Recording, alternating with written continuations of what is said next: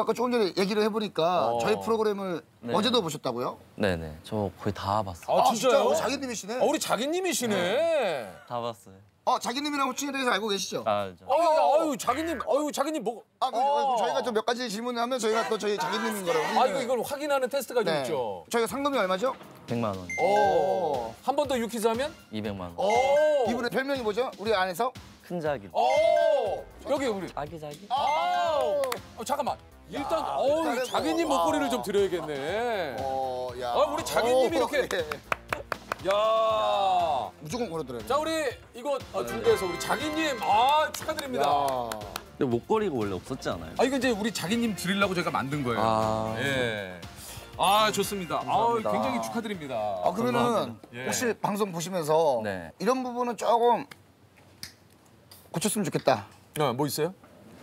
그 큰 자기님이 어, 야. 아기 자기님을 네.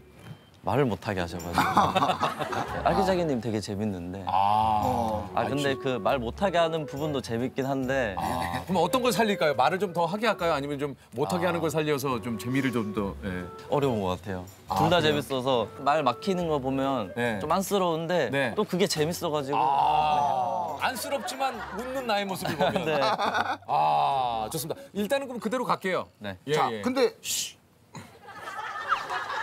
아니, 혹시 어, 내가 찾고 싶은 잃어버린 것 네. 중에 잃어버렸던 것 중에 생각나는 게 있습니까? 혹시 물건 말씀하시는 물건도, 물건도 좋고, 좋고, 어, 뭐. 사람도 좋고.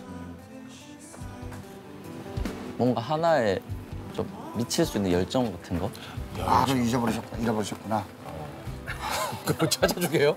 흥신소예요? 찾아주세요. 아, 근데 어떤 느낌인지 알 것 같아요. 어떤 그런 그 네. 그런 얘기 들어본 적이 있으신 거잖아요. 너 예전에 갖고 있던 그 열정 어디 갔어?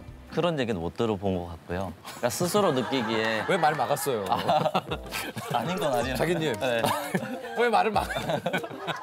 왜 자기는 말을 아, 막았어? 뭐 어려운 것도 아니고 뭐, 예, 그런 적이 있으니까 하면 되지. 그거를 그렇게, 네, 미안합니다. 아 근데 왜 열정을? 즐거움엔 끝이 없다. TVN